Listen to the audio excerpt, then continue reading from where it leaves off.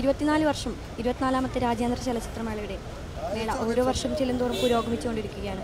ഇത്തവണത്തെ മേളയെ എങ്ങനെ എങ്ങനെ കാണുന്നു എന്നതിനെക്കുറിച്ച് സംവിധായകനും ചലച്ചിത്ര അക്കാദമി ചെയർമാനുമായ കമലാണ് നമ്മളോട് സംസാരിക്കുന്നത്. ഐ എഫ് എഫ് കെ ഇരുപത്തിനാലാമത്തെ രാജ്യാന്തര ചലച്ചിത്രമേള നാലാമത്തെ ദിവസം പിന്നീടാണ്. അപ്പോൾ എങ്ങനെ വിലയിരുത്തുന്നു?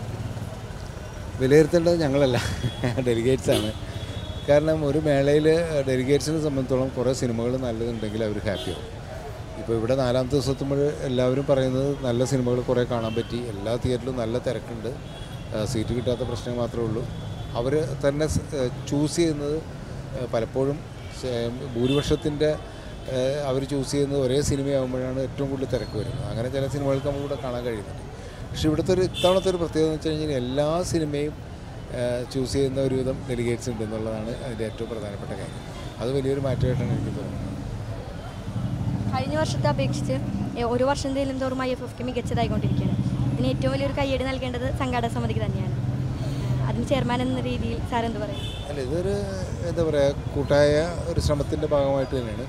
നമ്മളെ സംബന്ധിച്ചോളം എല്ലാ വർഷവും ഐ എഫ് എഫ് പുരോഗമിക്കുക എന്നുള്ള അല്ലെങ്കിൽ കൂടുതൽ ഗ്രോ ചെയ്യുക എന്നുള്ളതാണ് എല്ലാവരും ആഗ്രഹിക്കുന്നത് നമ്മളും ആഗ്രഹിക്കുന്നത്. അപ്പോൾ അതിന് വേണ്ടിയുള്ള ശ്രമം നടത്തുന്നു. ഏറ്റവും മനോഹരമായിട്ട് വരുന്നത് നല്ല സിനിമകൾ ഇവിടെ പ്രദർശിപ്പിക്കാൻ നമുക്ക് കിട്ടുന്നു എന്നുള്ള ഒരു ഭാഗ്യമാണ് ഉള്ളത് അടുത്ത വർഷം ഇരുപത്തഞ്ചാമത്തെ വർഷത്തിലേക്ക് കിടക്കാണ് ഇപ്പോഴേ എന്തെങ്കിലുമൊക്കെ അടുത്ത വർഷത്തേക്ക് വേണ്ടി കരുതി വെക്കുന്നുണ്ടോ? അതിനെക്കുറിച്ച് ഇപ്പോൾ ആലോചിച്ചിട്ടില്ല. കാരണം പല കാര്യങ്ങളും ആലോചിക്കുന്നുണ്ട്. പക്ഷേ ഒരു വ്യക്തമായ ഒരു ആലോചനയോ അല്ലെങ്കിൽ എന്തായിരിക്കണം എന്നുള്ളൊരു പ്ലാനൊന്നും ആയിട്ടില്ല. ഇത് കഴിഞ്ഞ് ഈ മേള കഴിഞ്ഞിട്ട് വേണമല്ലോ. അതിന്റെ വിലയിരുത്തൽ കൂടി കഴിഞ്ഞിട്ട് വേണം നമുക്ക് അടുത്ത വർഷത്തെക്കുറിച്ച് ആലോചിക്കണം ഒട്ടും പരാതികളില്ലാതെയാണ് എല്ലാ മേളയും കടന്നു പോകുന്നത്. ആർക്കും ഒരു രീതിയിലും ഡെലിഗേറ്റ്സിനാണെങ്കിലും എല്ലാവരും സംതൃപ്തിയോടെയാണ് ഓരോ ഐ എഫ് എഫ് കെയും വിട പറയുന്നത്. എന്നാൽ അതിനപ്പുറം ഇത്തവണ കൊമേഴ്ഷ്യൽ സിനിമകൾക്ക് കൂടുതൽ പ്രാധാന്യം നൽകി ചില സിനിമകൾ മനഃപൂർവം തഴയപ്പെട്ടു എന്നൊരു ആരോപണം ഉന്നയിക്കപ്പെടുന്നുണ്ട്. സാറിന് അതിനോട് എന്താണ് പ്രതികരിക്കാനുള്ളത്? അല്ല അതിപ്പോൾ അവർ കുറേ വേദിയിൽ പറഞ്ഞു കഴിഞ്ഞല്ലോ അവർ ആ കാര്യം. ഞങ്ങളായിട്ടൊന്നും ചെയ്തിട്ടില്ല അക്കാഡമിയായിട്ടൊന്നും ചെയ്തിട്ടില്ല. സെലക്ഷൻ കമ്മിറ്റിയാണ് തീരുമാനിക്കുന്നത് ഒരു സിനിമ സെലക്ട് ചെയ്യണോ വേണ്ടോ എന്നുള്ളത് തീരുമാനിക്കുന്നത്. അവരത് റൂൾസ് പ്രകാരമാണ് തീരുമാനിച്ചിരിക്കുന്നത്. ഞങ്ങളും റൂൾസ് പ്രകാരമാണ് അവരുടെ അടുത്ത് ആ കാര്യങ്ങൾ പറഞ്ഞിട്ടുള്ളത്. നിങ്ങൾ റൂൾസ് ഫോളോ ചെയ്തിട്ട് സിനിമകൾ സെലക്ട് ചെയ്യാനാണ് പറഞ്ഞിരിക്കുന്നത്. കമേഴ്ഷ്യലായിട്ട് ഓടിയതാണോ ഇല്ലയെന്നുള്ളത് അവർ ചിന്തിച്ചിട്ടില്ല. ഞങ്ങൾക്കത് ചിന്തിക്കാനുള്ള പവറും ഇല്ല. കാരണം ഒരു സിനിമ തിയേറ്ററിൽ ഓടിയതുകൊണ്ട് ഇവിടെ നിഷേധിക്കാനായിട്ട് അക്കാഡമിക്ക് പറയാനുള്ള പവറില്ലല്ലോ ഇവിടെ എല്ലാവർക്കും വേണ്ടിയിട്ട് ഓപ്പൺ ആയിട്ടുള്ള ഒരു പ്ലാറ്റ്ഫോമാണ് അതിൽ നല്ല സിനിമ ഏതാണ് അത് കാണിക്കുക എന്നുള്ളതാണ് ഇപ്പോഴത്തെ ഞങ്ങളുടെ റൂൾസ് ആൻഡ് റെഗുലേഷൻസ് പ്രകാരം ഉള്ള ലക്ഷ്യം.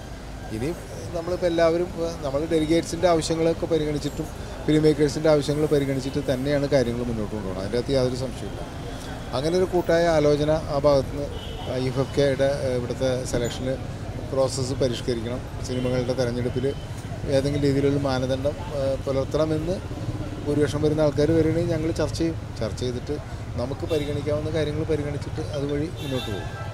കൊമേഴ്ഷ്യൽ സിനിമകൾക്ക് പ്രാധാന്യം കൊടുത്തുകൊണ്ട് ഒരു വിഭാഗം സിനിമകളെ അവഗണിക്കുന്നില്ല എന്ന് തന്നെയാണ് ചലച്ചിത്ര അക്കാദമി ചെയർമാൻ കമൽ നമ്മളോട് പറയുന്നത്.